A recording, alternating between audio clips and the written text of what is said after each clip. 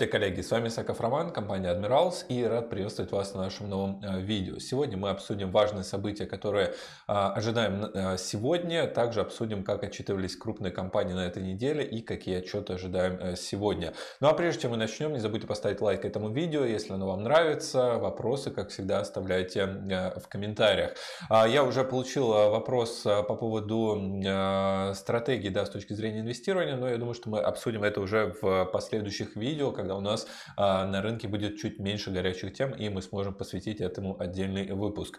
Ну а, а сегодня а, важное событие на рынке это заседание как раз ФРС. Собственно, сейчас мы с вами видим то, что рынки несколько замерли в преддверии этого заседания и фактически весь последние два дня, да, то есть мы видели S&P 500 немного обновил локальный максимум, подойдя вплотную к отметке 4200, затем немного скорректировался, то есть сейчас такое боковое а, движение, боковой настрой. Что ждать от ФРС? Ну, во-первых, скорее всего, ставка останется на прежнем уровне, а, и а, риторика не изменится, то есть э, будет э, продолжаться ситуация с продолжением как раз увеличения инфляции, да, борьба с безработицей, то есть, ну, в принципе, все как обычно, да, то здесь, э, скорее всего, вряд ли какие-то сюрпризы мы можем ожидать. Но рынок уже, э, скорее всего, это закладывает, поэтому мы торгуемся так высоко. Вероятность того, что э, коррекция, которая случится в мае, да, может случиться в мае, вероятность этого повышается, потому что есть, опять же, такая известная поговорка на Уолл-стрит sell in May and go away, то есть продавай в мае и уходи. Вполне вероятно, что развитие подобной ситуации мы в ближайшие пару недель сможем увидеть.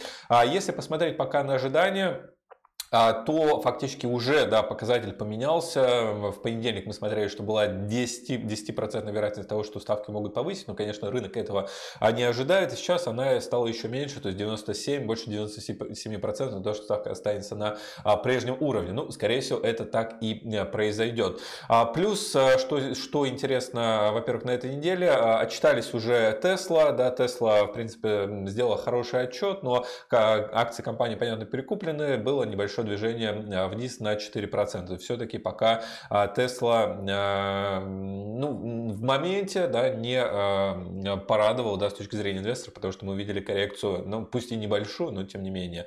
Также отчитались Microsoft. Microsoft несколько скорректировались вчера после отчета, хотя он также выглядит позитивно, но опять же акции торгуются на локальных максимумах.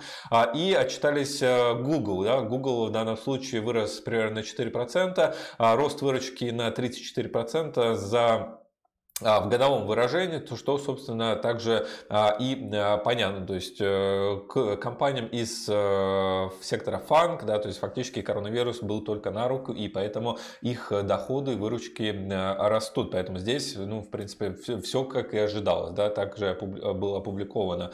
А сегодня еще отчитаются Apple и Facebook, отчет будет после закрытия рынка, но, опять же, вряд ли какие-то сюрпризы мы можем ожидать. Кстати, максимально подробно мы обсудили отчеты и что можно ждать от этих компаний на подкасте «Два трейдера», который мы записываем каждый вторник. А выпуск уже доступен, ссылка в описании к этому видео.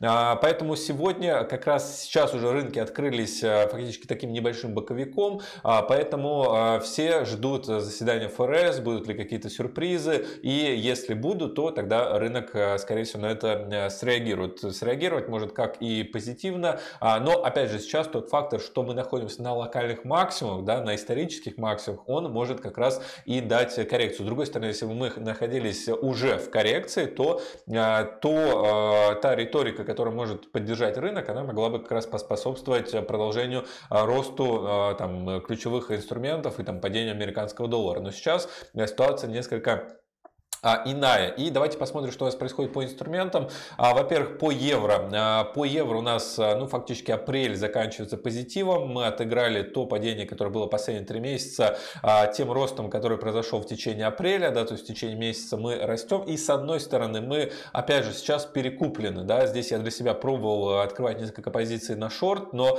мы видим, что рынок продолжает идти вверх. И фактически сейчас, текущих уровней, здесь я для себя уже э, рассматриваю э, переход как раз в фазу роста, поэтому буду искать э, покупки по данной валютной паре, потому что сейчас тренд, он меняется, меняется по данному инструменту, здесь более разумно как раз искать уже а, покупки. А по британской валюте ситуация она а, примерно такая же. Здесь мы с вами видим то, что общая динамика опять переходит в фазу роста, да, после той небольшой коррекции, которая состоялась как раз последние пару месяцев. Вполне вероятно, что можем уйти опять же в коррекцию, но опять же с текущей, по текущей ситуации, которую мы видим, вероятность продолжения как раз роста, она сохраняется. Пока у меня здесь остается отложенный ордер, и здесь я чуть э, уменьшу риск, да, то есть опять же оставлю, скорее всего, вот одну эту позицию на а, сегодня. Здесь э, э, именно по данной валютной паре на продолжение как раз укрепления а, британской валюты против американского доллара. Если зацепит мой как раз отложенный ордер, то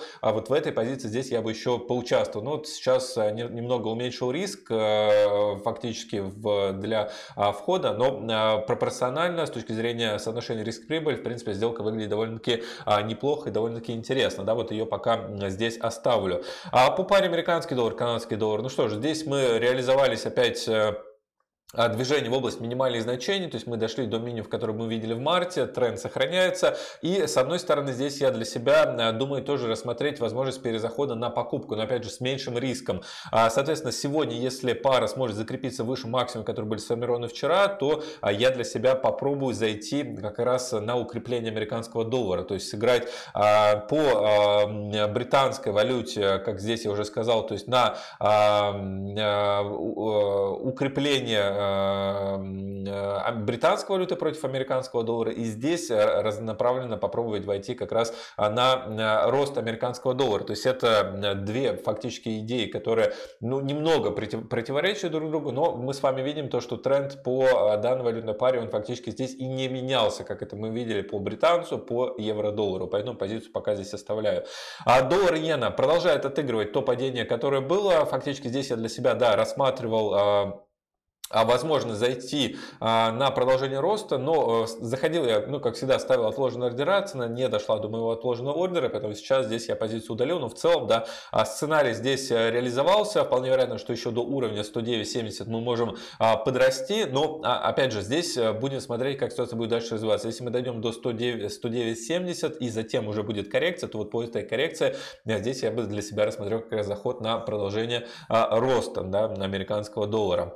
А Австралиец э, здесь немного корректируется последние два дня. Опять же, мы э, пытаемся продолжить как раз движение восходящее. Вообще здесь торгуется такой боковик. И фактически сейчас мы находимся э, в середине этого канала. С одной стороны, покупки здесь остаются в силе, да, но не по текущему уровню. То есть где-то по 76, 76.50, 76, 60. Вот здесь было бы более интересно зайти. Конечно, по 75-70 еще более этот заход был бы интересен. Но пока здесь остаюсь не рынка. То есть сейчас сейчас я, опять же, до а, заседания ФРС а, постараюсь э, минимально да, какие-то идеи э, реализовывать, только если не будет э, какой-то повышенной волатильности. И вот ну, по британской валюте здесь я позицию оставлю.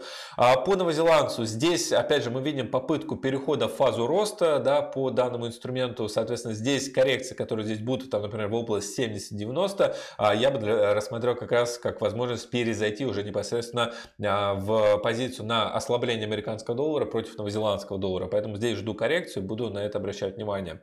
А золото. А по золоту, как я говорил, рассматривал для себя шарты. А здесь а, отложенный ордер у меня все еще стоит, но уже я его могу а, удалить. То есть я рассчитывал на то, что он сработает в понедельник, но цена туда не дошла. Уже мы обновили локальный минимум, и фактически здесь сценарий уже реализуется. Поэтому здесь пока эта ситуация остается не актуальной. Если мы увидим перехай как раз 1785 долларов за тройскую унцию, то, скорее всего, на 1800 еще сможем сходить. Поэтому здесь я отложенный ордер сейчас удаляю.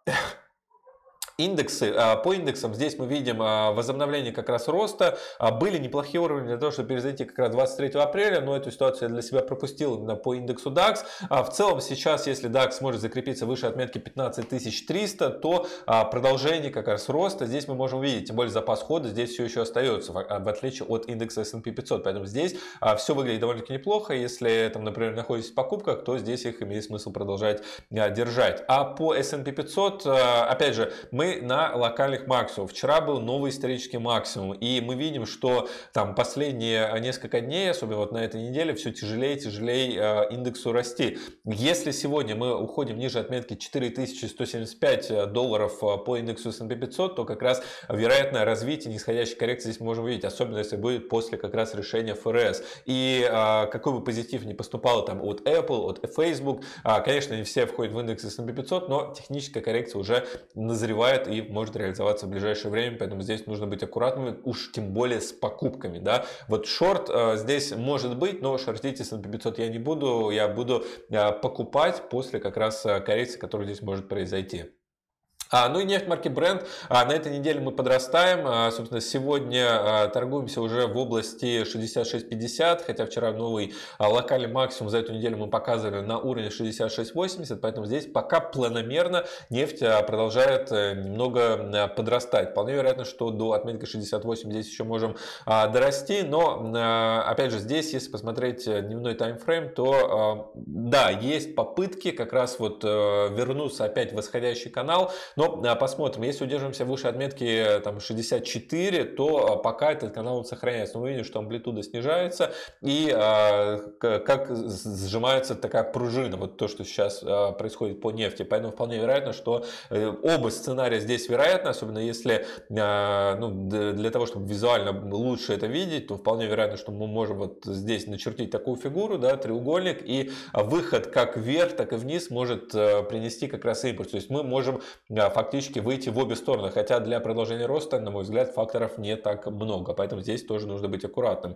А индексы Dow Jones тоже в таком боковике. NASDAQ э, тоже в небольшом боковике в ожидании как раз а, заседания ФРС. Ну, собственно, все внимание сейчас приковано к этому, поэтому ждем, а, ждем, что нам скажет Паул, ждем, какие будут заявления и э, то, как рынок на это, соответственно, будет реагировать. Тогда ситуация уже там на ближайший месяц, полтора, она будет плюс-минус более понятна. Поэтому э, здесь как э, что мы можем ожидать там в ближайшие там 2, 3, 4 недели, это вероятно, что будет коррекция 5, 7, 10 процентов, и вот как раз эту коррекцию нужно использовать использовать для того, чтобы перезаходить или в акции, да, которые также могут просесть на чуть больший процент, а, или, а, если говорить о индексе S&P 500, как самом, как инструменте для, инструмента для трейдинга, то искать возможности как раз перезайти в него на продолжение а, тренда. Ну а на сегодня это все. Всем желаю хорошего торгового дня. Ставьте стоп-лоссы, ставьте лайки, если вам понравилось это видео, вопросы в комментарии оставляйте. И мы с вами увидимся в пятницу и посмотрим как раз, как прошло данное заседание и как рынки на это среагировали.